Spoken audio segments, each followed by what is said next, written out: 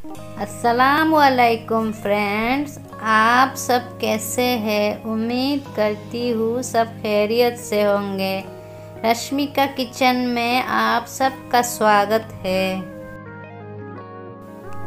आज मैं बनाऊँगी सिंपल और टेस्टी आलू और कैप्सिकम की रेसिपी। तो चलिए शुरू करते हैं आज का रेसिपी तो मैंने यहाँ पे दो बड़े साइज़ का कैप्सिकम लिया है और एक मीडियम साइज़ का आलू लिया है, जिनको मैंने अच्छे से वॉश करके बारीक काट लिया है। तो अभी मैं इस बड़े बोल में ये सारे कैप्सिकम और आलू को डाल दूँगी।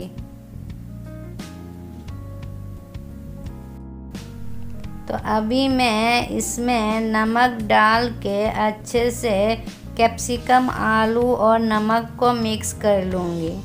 और अगर लगे कि नमक थोड़ा कम हुआ है तो और थोड़ा डाल के और अच्छे से मिक्स कर लूँगी। अगर लगे नमक कम हुआ तो फिर से थोड़ा डाल के अच्छे से इनको मिक्स कर लूँगी। और 10 मिनट के लिए इनको रेस्ट करने दूँगी।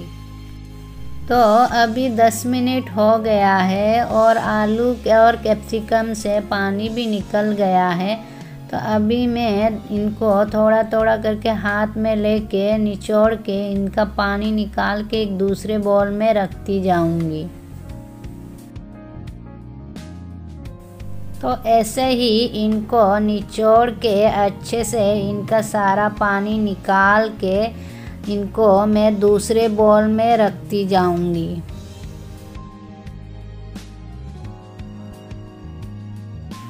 तो ऐसे ही निचोड़ निचोड़ के इनका सारा पानी निकाल के मैं इन बाकी सबको भी निचोड़ के पानी निकाल के इस बॉल में रख लूँगी। तो मैंने इनको अच्छे से निचोड़ के, इनका सारा पानी निकाल के इस बोल में ले लिया है। तो अभी ये अच्छे से फ्राई होंगे। यहाँ पे मैंने एक मीडियम प्याज को अच्छे से वॉश करके बारीक काट के लिया है। हल्दी पाउडर लिया है। मिर्ची पाउडर लिया है।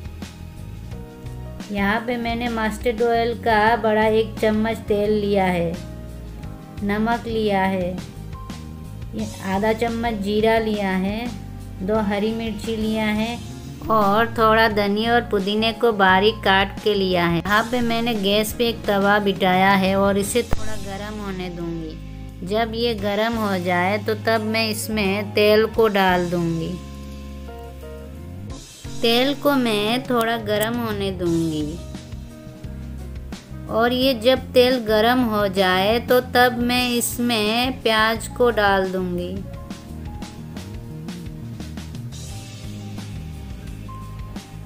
और अच्छे से इसको चम्मच से मिला दूँगी। जब ये प्याज थोड़ा फ्राई हो जाए तो तब मैं जीरा और हरी मिर्ची को डाल दूँगी। और अच्छे से चम्मच से इनको मिला दूँगी। तो अभी मैं इनमें मसाले को डाल दूँगी।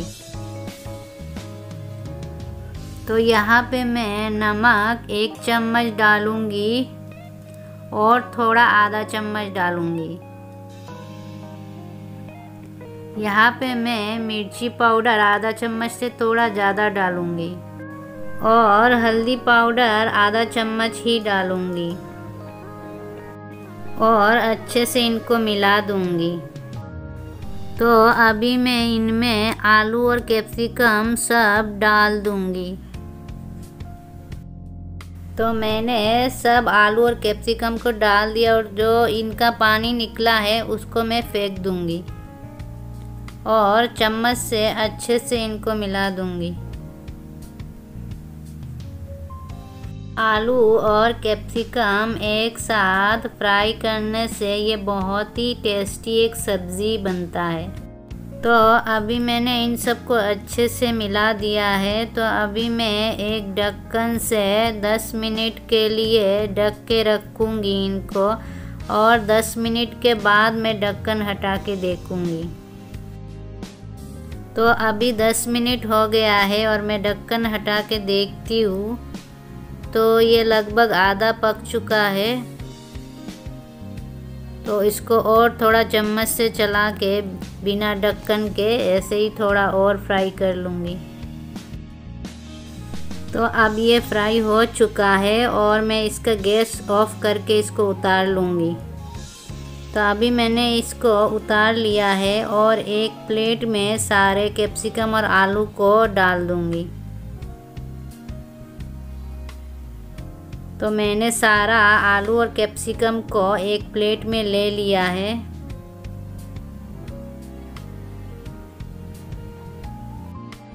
तो लीजिए बन के रेडी हो गया सिंपल और टेस्टी आलू और कैप्सिकम की सब्ज़ी। तो अभी मैं इसमें धनिया से और पुदीने से गार्निश कर लूँगी। तो फ्रेंड्स, अगर आप लोगों को आज का मेरा रेसिपी अच्छा लगा तो मेरे चैनल को सब्सक्राइब करिएगा और बेल आइकन को ज़रूर प्रेस करिएगा ताकि मेरे आने वाली सारी रेसिपीज़ की नोटिफिकेशन टाइमली मिलती रहे आप लोगों को। तो फ्रेंड्स, अल्लाह हाफिज़ और दुआओं में याद रखिएगा।